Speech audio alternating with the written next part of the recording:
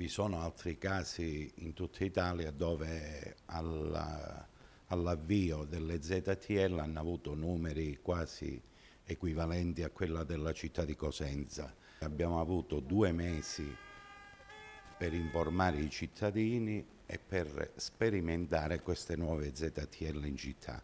Sono partite il 26 novembre, diffusamente noi abbiamo dato eh, notizia di, della partenza delle, del divieto di transito nelle ZTL, lo abbiamo fatto attraverso la stampa, lo abbiamo fatto attraverso i media locali, insomma un pochino da tutte le parti.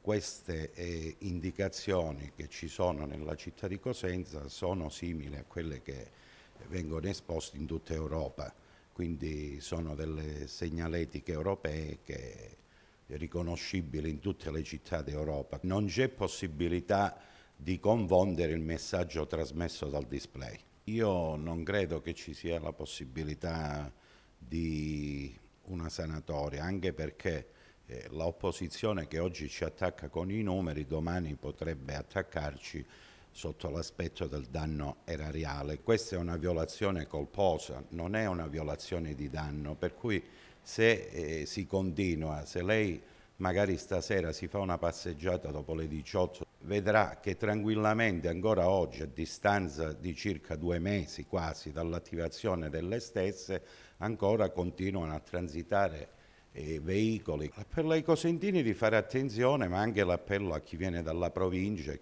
chi viene dalla regione. Cosenza si è dotato di questo strumento, ormai a conoscenza di tutti, di fare attenzione e di osservare le regole del codice della strada.